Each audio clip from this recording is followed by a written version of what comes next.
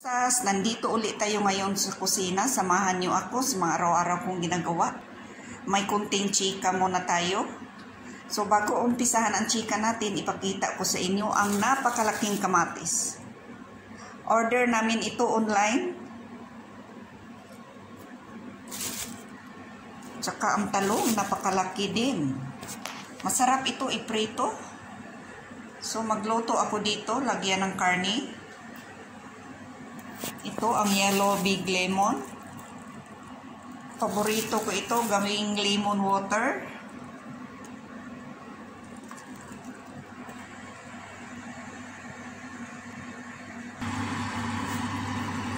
Ito, nagluto ako ng salona. Salona. Lagyan ko ito mamaya ng mga gulay pag malambot na.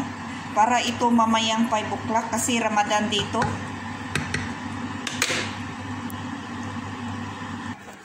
May karne mga karosas. Lutuin ko ito mamaya. Pagkatapos ng luto, lagyan ko ng talong na pinipreto din. Tapos ibig ko sa oven. Lagyan ko ng sauce. Tapos ibig sa oven. Napakasarap ito mga karosas.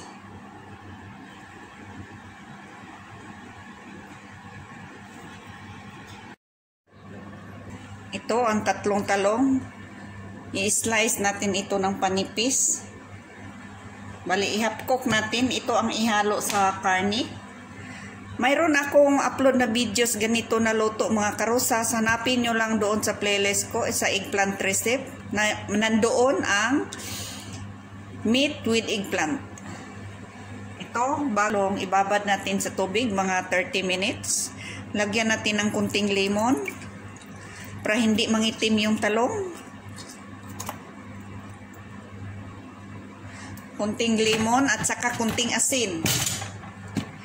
Ihalo ko na rin ang skin, ibabad ang skin sa lemon kasi mabango. Nandyan ang vitamins sa skin sa lemon. Tabi natin.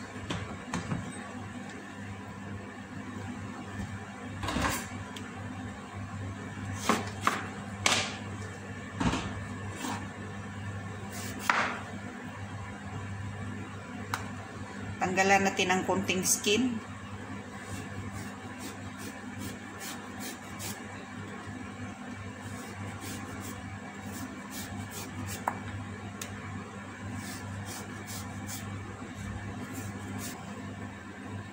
Kailangan manipis. Kasi pag sobrang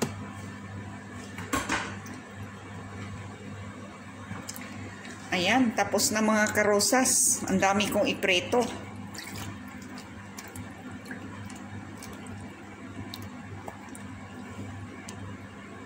At saka matipid sa mantika pag ganito ang gawin mga karosas.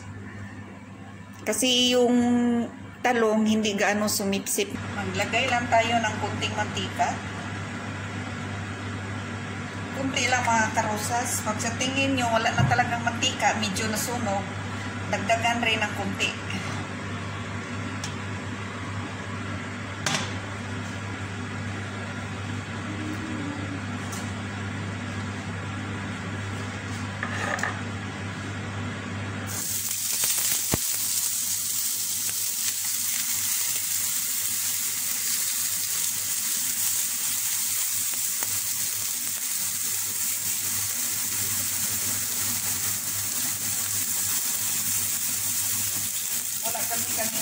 Karahay. Pag may malaking karahay, ah, wala kasi kaming malaking kawali. Kasi pag mayroong malaking kawali,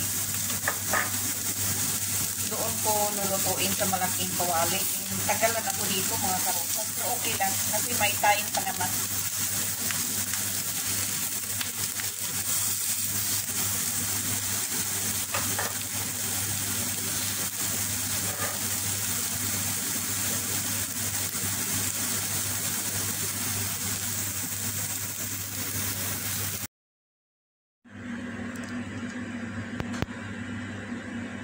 Ayan mga karosas. Tapos na pagprito ang talong. Sa nakita nyo, ba hindi mauwili ang talong. Kasi binabad ko ng tubig at saka limon at saka kunting asin. Ayan mga karosas, luto na yung talong. Maganda talaga pag ibabad mo sa tubig, lagyan ng limon at saka kunting asin. Hindi siya mauwili mga karosas, makatipid ka talaga sa mantika.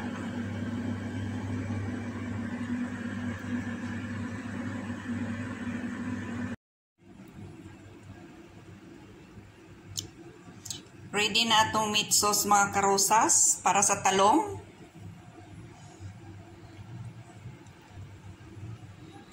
Ito ang higanti na kamatis.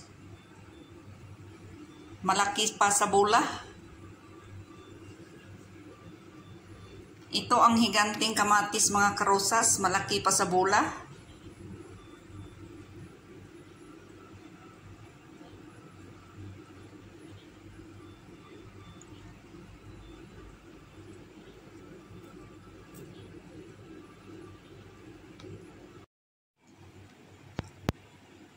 Ganito yan siya mga karosas, ang eggplant with meat. Tapos may toppings na tomatoes. Ibig ito siya sa ibig ito siya around 30 minutes. Tapos bago i-off yung oven, lagyan ng grated cheese.